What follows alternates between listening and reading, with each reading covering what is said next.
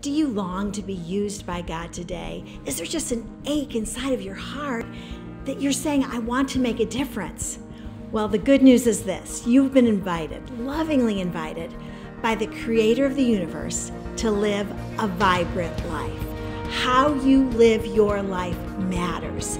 It matters very much. And your life is not so much about circumstances and events as it is about your response to what you're going through. Vibrant is a Bible study that looks at the lives of people in the Bible who determined to be a show and tell of the character of God even when their world was falling apart. I don't know about you, but I don't live a perfect life. But this is what I know He's given me His gifts and His fruit so that I can make a difference at my moment in history. It's all about living a vibrant life.